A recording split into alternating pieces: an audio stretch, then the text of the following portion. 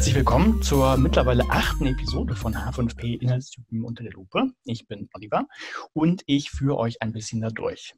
Äh, wenn ihr eine Einführung in H5P erwartet, die gibt es hier nicht. Das, heute dreht sich wirklich nur um einen Inhaltstyp, der heißt Dialog Cards. Äh, wenn ihr eine Einführung in H5P braucht, dann schaut einfach mal auf edunauten.de slash Webinare vorbei. Da gibt es so eine Aufzeichnung von einem 90 Minuten äh, ja, Webinar. Und ähm, da kriegt ihr im Prinzip die Basics mit, wie das geht. Also heute geht es um Dialog Cards und äh, damit das nicht so abstrakt ist, zeige ich euch einfach, wie das Ganze aussieht bei H5P. Und dafür gucken wir uns das einfach mal an. Ich zeige euch zwei Beispiele. Das erste, das nehme ich direkt von h5p.org. Das ist eben die Seite, wo man H5P findet. Und äh, wenn man da auf Examples and Downloads klickt, dann geht diese Seite mit den vielen Beispielen auf, die werdet ihr wahrscheinlich schon kennen. Und da gibt es auch relativ weit oben diese Dialog Cards. Und wenn man da drauf klickt, kriegt man so ein, ja, ein Standardbeispiel, ähm, wo man was sieht, was, was man machen kann. Also äh, wir sehen hier zum Beispiel eine Karte, letztlich wie eine Dateikarte, wo die man beschriften kann und wo man auch die Rückseite beschriften kann. Das ist ja so ein Klassiker beim Vokabellernen, dass auf der Vorderseite zum Beispiel der deutsche Begriff steht und auf der Rückseite der englische und dann muss ich das das umdrehen. Ne? Das geht, das funktioniert auch auf Papier sonderbar. Äh, schwierig wird es dann schon vielleicht bei den Bildern, die ihr hier seht, also die Blaubeeren. Die kriegt man, muss man schon sehr gut auf so eine Karte malen und muss es drucken, dann wird es teuer. Und was dann gar nicht mehr geht, ist frühestens, äh, spätestens das hier. Wenn ich jetzt hier auf diesen Knopf drauf drücke, dann hört ihr was. Arándanos azules. Ich glaube, das ist Spanisch. Ah, steht sogar oben, es ist Spanisch. Und äh, müsst ihr überlegen, hm, was könnte dann das jetzt sein? Und in dem Fall würde ich die Karte einfach umdrehen, Aha, dann sehe ich das Blueberries. Und, und dann kann ich weitermachen. Kann ich nochmal zurück umdrehen, wenn ich es nochmal anhören möchte, vielleicht. Arándanos azules. So. Und dann gehe ich weiter. Das heißt, ihr merkt schon, da ist jetzt nichts mit äh, automatisierter Abfrage oder sowas. Das ist jetzt keiner, der einem sagt, ob das richtig war. Das muss man in dem Fall hier selber entscheiden. Und Frambuesas, Frambuesas, na, war nah dran, sind dann ähm, halt diese Beeren. Genau. Und so geht das weiter. In dem Fall sind es einfach fünf Karten hintereinander, aber am Ende ist, dann ist man auch durch, dann kann man hier nochmal umdrehen und man kann auch von vorne anfangen. Simple Be simples Beispiel. Zweites Beispiel, dafür gehe ich auf eine andere Plattform. Äh, wenn man da nicht was Schönes zeigen kann, allerdings muss man da bei Hafenspiel eine Sache immer extra einstellen. Deshalb, das geht hier tatsächlich nicht. Also, zweite Seite, da kommt ihr nicht so einfach drauf. Das ist ein Blog von mir, das ist jetzt ähm, läuft im WordPress. Und da habe ich jetzt mal ein zweites Beispiel erstellt. Ihr seht schon, sieht ein bisschen anders aus, aber das kann man auch mit dem Normal machen. Da steht dann noch ein bisschen Text darüber, was man machen soll. Also in dem Fall soll man sich das Foto angucken. So, wenn man einen Tipp braucht, soll man sich vielleicht anhören, wie das heißt auf Englisch. Elephant. Okay, und äh, jetzt kann ich mir überlegen, ähm, weiß ich denn, wie Elephant auf, auf äh, Englisch geschrieben wird? Und ihr seht schon, hier sind schon so Sachen ausgegraut, die waren vorher nicht da. Und jetzt kann ich das umdrehen so, und jetzt, jetzt muss ich tatsächlich nochmal, muss ich mir entscheiden, war das richtig oder war das falsch? Und das mache ich jetzt einfach ein paar Mal mit diesen ganzen zehn Karten. Also wir haben hier Elefant. Ich muss mal den ersten sagen, Elephant. Sehr einfach, ist ja nur F durch PH ausgetauscht, hatte ich richtig. Dann geht das weiter, genau wie bei dem anderen. Aber ich habe jetzt, äh, seht ihr schon zwei Sachen, die noch anders sind. Hier unten steht schon verbleibende Karten. Offensichtlich gibt es zehn. Einen habe ich abgehakt, noch neun übrig. Und hier steht was von Runde 1. Und ähm, wir, einfach mal, wir machen einfach mal so wahllos ein paar richtig und ein paar falsch. So, denn was man machen kann, das ist letztlich das äh, Leitner-System oder ein verwandtes System, wer das kennt. Ähm, das, das, funktioniert einfach so, dass äh, die Sachen, die ich richtig beantwortet habe, ähm, mit einer geringeren Wahrscheinlichkeit in den nächsten Runden auftauchen, als die, die ich falsch beantwortet habe. So, ähm, jetzt habe ich zehn durch, ich habe jetzt wahllos mal geklickt, ich klicke auf Weiter und jetzt bekomme ich hier die Auswertung und offensichtlich waren acht richtige Karten, äh, acht habe ich bestätigt, habe ich richtig gehabt. Bei zwei habe ich gesagt, ähm, das war falsch. So, abgeschlossen Runde 1 und jetzt gehe ich weiter in Runde 2. Und jetzt seht ihr schon, hier unten steht jetzt nur verbleibende Karten 6, weil ich ja offensichtlich ähm, 8 richtig hatte und davon nimmt er jetzt nur noch zufällig die Hälfte, weil wenn ich richtig im Kopf habe, genau Algorithmus weiß ich nicht mehr, aber es sind halt, jetzt bekomme ich halt auf jeden Fall die, die ich falsch hatte und ein paar von denen, die ich richtig hatte. Und jetzt mache ich das halt ähm, so lange, bis ich alle Karten dreimal hintereinander richtig hatte. In dem Fall habe ich das so eingestellt. Und äh, dann wäre ich durch. Und jetzt ist natürlich die Idee nicht, dass ich das am Stück mache, das bringt gar nichts, sondern dass man sich vielleicht äh, einmal diesen virtuellen Kasten von Karten nimmt. Äh, den gehe ich einmal durch und habe ich Sachen richtig gehabt, habe ich falsch gehabt. Das war meine Runde 1. Dann stelle ich den weg und vielleicht einen Tag später oder zwei Tage später nehme ich mir den Kasten wieder vor und jetzt bekomme ich halt äh, nur automatisch nur die, die ich schlechter kann und wiederhole die letztlich dadurch. Und dann stelle ich ihn wieder zwei Tage weg. So, und das ist ein bisschen blöd, äh, wenn man das auf einem normalen System hat, äh, weil der Fortschritt ja weg ist. Also ich kann es mal zeigen, was man jetzt hier machen kann. Also ich bin ja jetzt in Runde 2 und sagen wir mal, ich höre einfach mittendrin auf, weil ich sage, es ist einfach zu viel. So, wir gucken uns an. Schildkröte, Runde 2 und verbleibende Karten. Und jetzt drücke ich einfach mal auf F5. Und äh, bei einem anderen System hätte ich jetzt wieder, wäre ich jetzt wieder direkt am Anfang in Runde 1 oder bei einem anderen System immer wieder am Start. ihr seht, offensichtlich hat er sich das alles gemerkt. Runde 2, verbleibende Karten 4 und die Schildkröte. Das heißt, äh, man kann einfach seinen Rechner auch ausmachen, dann kommt irgendwie einen Tag später wieder und man kann da weitermachen, wo man aufgehört hat. Das kann das eben auch. Und das wollen wir jetzt einfach nachbauen. Äh, das zeige ich euch. So ist nicht, nicht wirklich nicht kompliziert heute. Also das erste, was wir brauchen, ist, wir brauchen ein System, wo wir das erstellen können. Und das zeige ich mal ganz gerne auf ähm, dieser Seite hier. Man könnte es auch anders machen. So, dann sehen wir es nebeneinander. Ähm, auf einstieg-h5p.de. Das ist eine Seite von Nele Hirsch. Die ist äh, sehr schön, wenn man, ähm, die ist tatsächlich dafür gedacht, dass man H5P-Inhalte anlegen kann, ohne dass man sich da einloggen muss. Das ist alles auf Deutsch für die Leute, die mit Englisch nicht so ganz klarkommen. Ist das eine feine Sache. Und man muss eigentlich nicht mehr, nicht mehr tun, als auf Testinhalt erstellen klicken. Und dann geht das los. So, und wir brauchen natürlich die Dialog Cards. Die muss man immer suchen. Da braucht man nur die ersten paar Buchstaben eingeben oder vielleicht Card hätte auch gereicht. So, dann klickt man da drauf. Ups, wollte ich nicht. Ich wollte es ein bisschen größer machen, damit ihr das noch besser seht. So groß habe ich sonst immer. So, und jetzt im Prinzip H5P bietet immer so ein Formular, das man von oben nach unten abhakt und am Ende hat man dann sein Inhaltsstück fertig. Und jetzt kann ich es natürlich ein bisschen einfacher machen, weil ich einfach Sachen kopieren kann, die ich brauche. Also offensichtlich brauche ich einen, einen Titel und ähm, der steht hier oben, den kopiere ich mir einfach raus. So. Den kopieren wir da rein. So, was auch immer gut ist, das seht ihr auch, das, vielleicht mache ich das direkt einmal hier. Äh, bei H5P kann man immer Metadaten hinterlegen. Ähm, das heißt, wenn man, ich zeige euch das einfach mal auf der linken Seite, hier nochmal, hier unten gibt es so einen Knopf, der heißt Rights of Use oder eben, ich glaube, wenn es Deutsch ist, dann heißt es Nutzungsbedingungen oder sowas in der Art. Und wenn man da draufklickt, bekommt man immer eine Übersicht über die ganzen äh, Inhalte mit den ganzen Metadaten, also welche Lizenz dahinter steht, wer der Autor ist, welches Jahr das ist. Bei einigen auch direkt die Vorschau, wie hier bei den Bildern. Und äh, wenn man im Bereich OR unterwegs ist, ist das natürlich super. Ähm, wenn man das gleich weiß, dann kann ich aber durchscrollen, sehe, aha, aha, aha, alles frei lizenziert und ich weiß gleich, was ich damit machen kann. Das ist eine, eine sehr feine Sache. So. Ähm, also, was brauchen wir? Also, ich war bei Metadaten, Entschuldigung. Also, Metadaten muss man natürlich pflegen. Das ist ein Nachteil, aber ich mache das ja mal exemplarisch hier einfach für äh, den Inhaltstyp selber. Den Titel habe ich ja gerade schon eingetragen, den hat er übernommen und ich sage mal, der soll unter äh, CC0 erscheinen. Ich bin Oliver Tacke und von mir aus trage ich noch das Jahr ein, 2020, und sage, okay, das soll erstmal reichen. Speichere das Ganze und ähm, später kann man das halt direkt über diesen äh, Link da aufrufen, da steht da alles mit drin. So, dann gibt es ähm, hier noch einen Extra-Titel, den lasse ich einfach leer. Äh, das wäre nochmal eine extra Überschrift, aber es ist eigentlich einfacher, wenn man das direkt alles in die Aufgabenbeschreibung reinfügt. Also wir nehmen mal dieses hier, Englisch Tiernamen, kopieren das hier raus, kopieren das in die Aufgabenbeschreibung rein.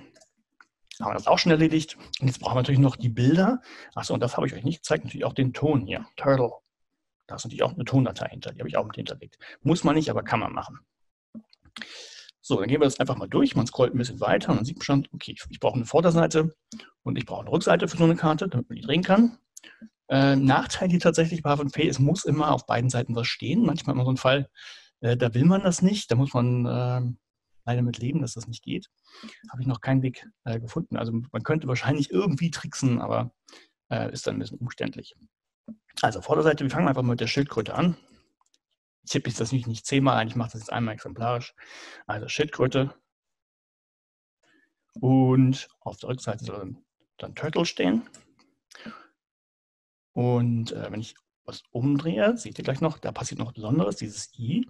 Um das müssen wir uns gleich noch kümmern. So, aber wir gehen jetzt das mal einfach weiter durch. Also wir brauchen noch ein Bild.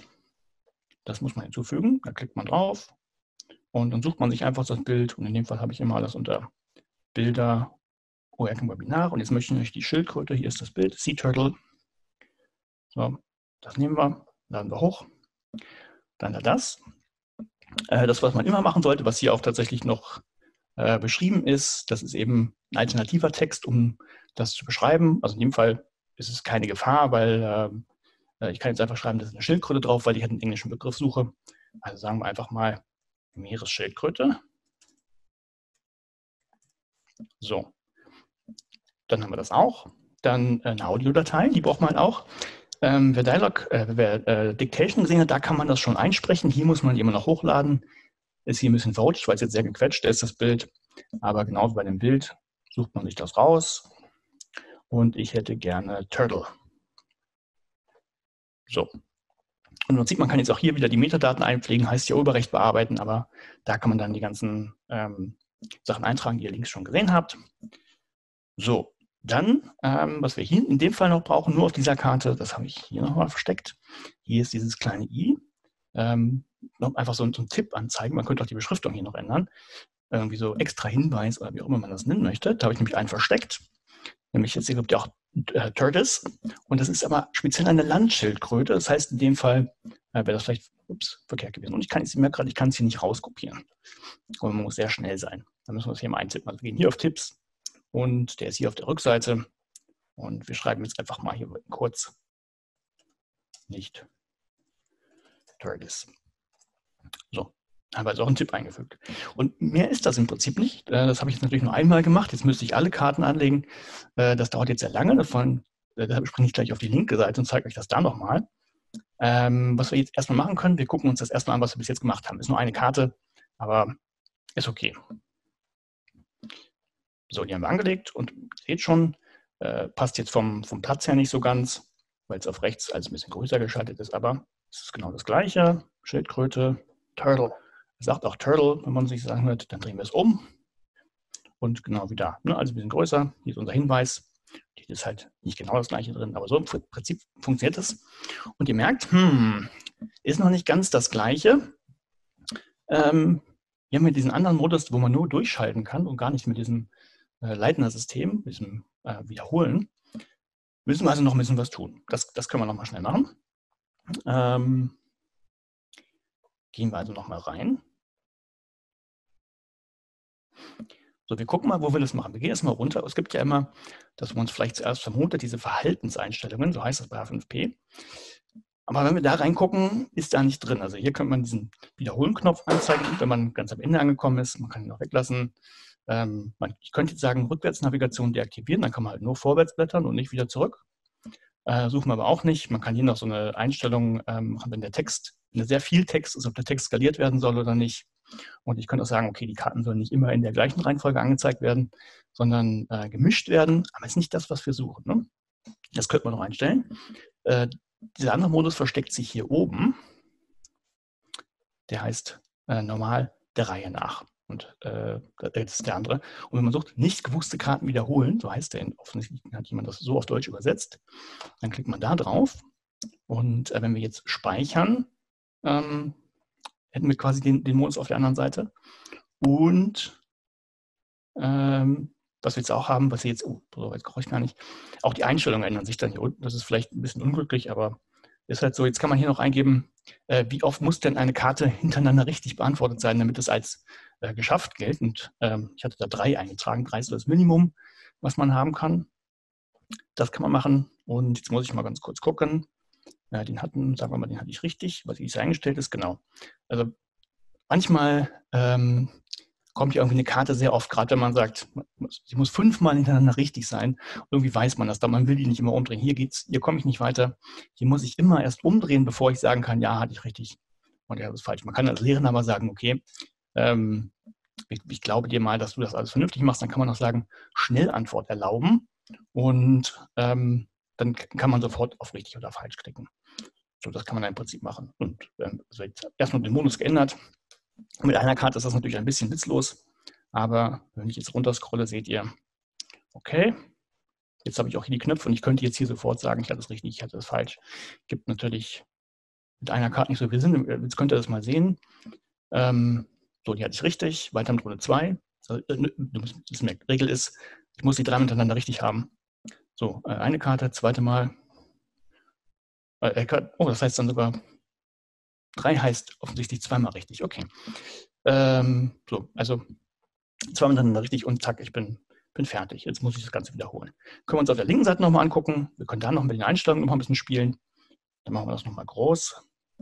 Äh, einmal so. Und vielleicht auch hier noch ein bisschen größer. So. Wir können ja hier nochmal reingucken, äh, damit man nochmal sieht, was ich meinte. Wenn wir das jetzt dann noch ein bisschen anpassen wollen, da haben wir alle zehn Karten. Dann scrolle ich hier runter. Ne, wir sind in diesem Modus nicht gewusste Karten wiederholen. Haben wir tatsächlich zehn verschiedene Karten. Und ähm, könnten hier zum Beispiel das auch nochmal einschalten. Wir könnten jetzt hier sagen, diese Schnellantworten erlauben. Also da gibt man, kann man kann nicht so viel einstellen bei den ganzen Sachen. Aber ähm, es geht ja um, um das Wiederholen, diesen Wiederholungsmodus, der ist das Wichtige. So, dann bekomme ich in dem Fall, da kann ich, kann ich gleich in den Fragen noch erklären, was das ist, wenn das wichtig ist. Da sagt er mir, ich habe den Inhalt verändert, ich muss jetzt von vorne anfangen, weil ich halt die Einstellungen geändert habe. Ähm, so, und ich bin jetzt wieder genau in meinem, jetzt mache ich vielleicht doch ein bisschen kleiner.